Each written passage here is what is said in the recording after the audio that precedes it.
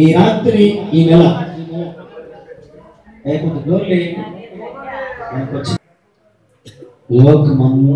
కూడా ఏం చేస్తుందండి సంచారం చేస్తుంది. ఎవరు కనిపిస్తుంది? దేవుడికి కనిపిస్తుంది. ఇంకో మాట అంటున్నాడు దేవుడు.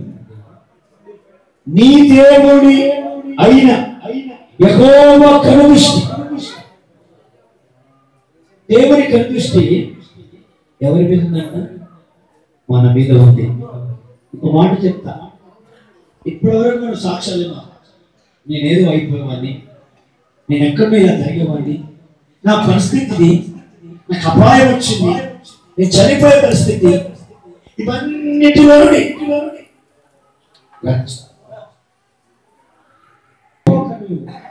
దేవుని కన్నులు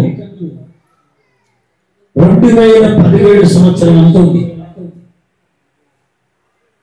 నిజంగా దేవుడి కనుదృష్టి మన మీద లేకపోతే దినాలు చెడ్డవి. సమయం సద్వినియోగం చేసుకోవాలి. రోజులన్నీ ఇప్పుడు ఏమైంది? మీరు అందరు విన్నారు. ఇప్పుడే వెళ్ళాడు. ఏమైపోయాడు? అలాంటి భయంకరమైన పరిస్థితి అనే లోకాల్లో మనం నివసిస్తున్నా మనకు కీడు అంటకుండా కాపాడబడ్డామంటే దేవుని కనుదృష్టి మన మీద ఉంది. దేవుని కనుదృష్టి కనుక మన మీద లేకపోతే దేవుని కనుదృష్టి కనుక మన కుటుంబం మీద లేకపోతే ఈ ముప్పై ఒకటవ తారీఖు దేవుని ఆరాధించేవారు కానే కాదు. నేను ఏసైకి థ్యాంక్ చెప్తున్నా. దేవా మరొక రెండు వేల పదిహేడవ సంవత్సరం చివరి వరకు నన్ను కాపాడవయ్యా. మరలా నేను అడుగుతున్నా రెండు వేల పద్దెనిమిది చివరి వరకు నన్ను కాపాడయ్యా. సంవత్సరాలు మొదలుకొని సంవత్సరంలో ఎన్నో అపాయాలు ఎన్నో కరువులు ఎన్నో కష్టాలు ఎన్నో ఇబ్బందులు ఎన్నో శోధనలు అవన్నిటి నుండి బయటకు వచ్చి ఈ ముప్పై ఒకటో తారీఖు నిలబడగలిగాము అంటే దేవుని కనుదృష్టి మన మీద ఉంది కాబట్టి నిలబడగలిగా. నమ్మిన వాళ్ళందరూ చెప్పండి. ఒక మనిషి కనుదృష్టి ఎంతకాలం ఉంటుందండి? ఒక చిన్న కథ చెప్తా.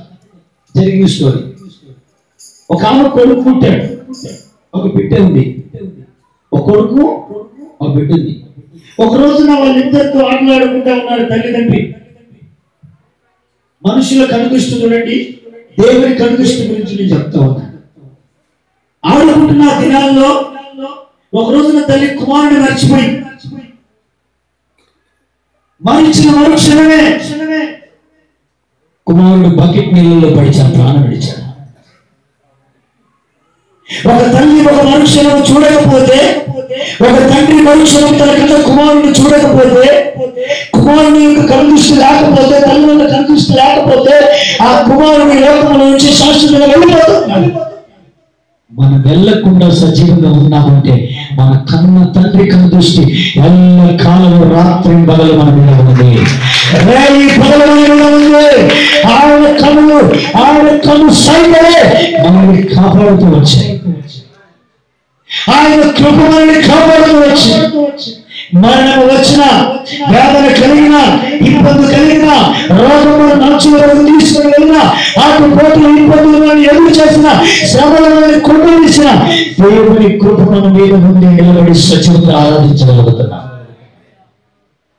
సంవత్సరానికి రెండు వేల పదిహేడు అంత నేనంత బ్రతికిన నువ్వు బ్రతకడం కాదు. నేను బ్రతికించిన ఏసైని ఆరాధించు. ఎంతమంది నమ్ముతున్నారు? రెండు వేల పదిహేను బ్రతుకు నేను కాదు బ్రతికింది బ్రతికి ఉన్నాను అంటే ఆయన బ్రతికిస్తాను ఎంతమంది అంటారు? నేను కాదు బ్రతికింది బ్రతికిస్తే నేను బ్రతికి ఉన్నా. ఎవరు?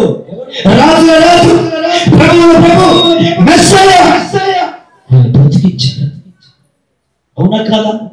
ఎంతమంది నమ్ముతున్నారు ఎస్ నిజమే.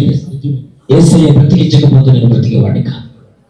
ఎన్నో అపాయ ఎన్నో మరణవేదన మన దగ్గరకు వచ్చేవే నేను ఏసైకి ధ్యానం చెప్తున్నా దేవా నీ కృప లేకపోతే ఈ రాత్రి నేను ఇక్కడ నిలబడి నీ వర్తమానాన్ని అందించేవాడిని కాదు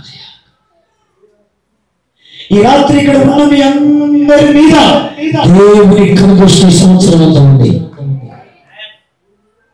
మరలా ఒక వాగ్దానం చేస్తున్న ప్రభు సేవకుడిగా రెండు వేల పద్దెనిమిది కూడా దేవుని కలిసి మీ మీద ఉండబోతుంది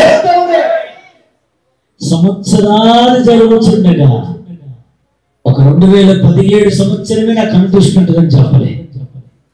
సంవత్సరాలు సంవత్సరాలు సంవత్సరాలు సంవత్సరాలు. రెండు వేల పదిహేను రెండు వేల పదహారు రెండు వేల పదిహేడు రెండు వేల పద్దెనిమిది రెండు వేల పంతొమ్మిది రెండు వేల ఇరవై రెండు వేల ముప్పై రెండు వేల యాభై. రెండు వేల ఎప్పుడు వరకైనా ప్రభు అంతము వరకు. ప్రభు అంతము వరకు దేవుని కనుదృష్టి మన మీద ఉంది నమ్మిన వాళ్ళు చెప్పండి. దొంగ మీద ఉంది పాపి మీద ఉంది పరిశుద్ధుడు పరిశుద్ధుడు గత పోయిన సంవత్సరం ఉన్న వారి సంవత్సరం ఉన్నారా? ఉన్నారా? ఉన్నారా? గత పోయిన సంవత్సరం రామచంద్రుడు ఉన్నాడు సంఘంలో. ఈ సంవత్సరం లేడు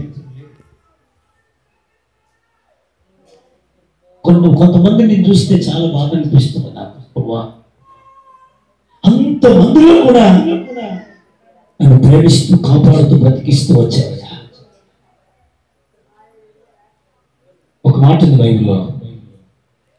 ఎల్లప్పుడూ అక్కడ చూడు చక్కని మాట అంటే ఒక రోజుకు ఒక సంవత్సరానికి రెండు సంవత్సరాలు మూడు సంవత్సరాలు అని చెప్పలే. ఎల్లప్పుడూ నా కృప మీ మీద ఉంటుంది. నా దీవెన మీ మీద ఉంటుంది. నా ఆశీర్వాదం మీ మీద ఉంటుంది అని చెప్తున్నాడు. ఇంకొక మాట కూడా చూస్తే మీరు జ్ఞాపకం చేసుకోండి. సంవత్సరాంతం మొదలుకొని సంవత్సరాంతం వరకు ఆ దేవుని కృప మన మీద ఉండబోతా ఉంది మొదటి రెండో దినవృత్తాంతాల గ్రంథము చూడండి ఒక మాట రేపటి పదహారవ అధ్యాయాన్ని పదమూడు వచ్చి చూస్తే అక్కడ ఒక చక్కని వాగ్దానాన్ని దేవుడు మన కొరకు రాచిపెట్టాడు రెండవ దినవృత్తాంత గ్రంథం పదహారు తొమ్మిది. ఒక మాట చూద్దాం. పదహారు తొమ్మిది. నేను చదువుతా వినండి.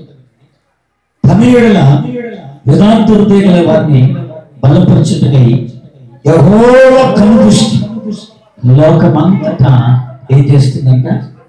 సంచారం. ఆమె హల్లెలూయా మీతో దేవుని కనిపిస్తూ ఉంది మిమ్మల్ని చూస్తూనే ఉంది. కొన్ని క్షణాల్లో నీకు ప్రమాదం రాబోతున్నప్పుడు ఎవరు తెలిసింది? ఎవరు తెలుసు? ఎందుకంటే లోకమంతా ఆయన కనిపిస్తే ఏమైంది? ఏం చేస్తుందంట? సంచరిస్తాం. ఇది ఎవరితో అన్నాడు తెలుసా? ఆశ తప్పిపోయినప్పుడు దీర్ఘదర్శి అన్ని హెచ్చరిక చేస్తున్నప్పుడు అక్కడ మాట్లాడుతున్న మాట తెలుసు యథార్థవంతులైన వారి మీద. ఎవరి మీద ఉంటుందంటే కనిపిస్తూ ఎవరి మీద ఉంటుందంట? యథార్థం ఎవరైతే నివసిస్తారో యథార్థం ఎవరైతే క్రీస్తు కొరకు బ్రతుకుతారో యథార్థమైన జీవితం ఎవరైతే కలిగి జీవిస్తారో యథార్థమైన బ్రతుకు ఎవరైతే బ్రతుకుతారో వారి మీద దేవుని కన్ను దృష్టి ఉండబోతుంది. ఎంతమంది కోరుకుంటున్నారు? దేవుని కన్ను మా మీద ఉండాలి. ఇంకో మాట అంటాడు. ఇస్రాయేలు ప్రజల్ని కాపాడేవాడు. కొనకాడు నీ కుడి పక్కన పదివేల మంది కూలినా నీ ఎడమ పక్కన పదివేల మంది కూలినా అపాయము నీకు రాదు అన్నాడు. ఎందుకు రాదు? కుడి పక్కన పదివేల మంది చచ్చిపోతున్నాడంట ఎడమ పక్కన పదివేల మంది చచ్చిపోతున్నా అక్కడ మనకి అపాయం జరగదు. ఎందుకు జరగదు? ఎందుకు జరగదు? మానవిస్తున్నాడు కుమకని నిద్రపోని యెహోవా. నిద్రపోయేవాడు కాదు. కురికేవాడు కాదు. రేగి పగలు సంచారం చేస్తున్న దృష్టి రేగి పగలు చూస్తున్న కళ్ళు. రేగి పగలు వెతుకుతున్న కళ్ళు. బైబిల్ చెప్తుంది దాని భక్తుడు అన్నాడు కొండల తట్టు నా కన్నులు ఎత్తుచున్నాను కళ్ళు ఎక్కడికి వెతుకుతున్నాయి దేవుని వైపు ఎత్తబడుతున్నాయి మీ కన్నులు దేవుని వైపు చూస్తే నీ కుటుంబాలు రక్షించబడతాయి కాపాడబడతాయి. హల్లెలూయా. హల్లెలూయా.